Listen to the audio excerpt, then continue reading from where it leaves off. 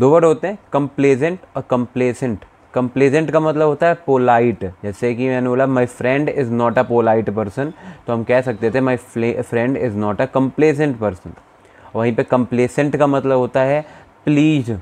आत्मसंतुष्ट हो जाना, किसी व्यक्ति से सेटिस्फाई हो जाना. Complacent I am complacent with my brother's work thank you so much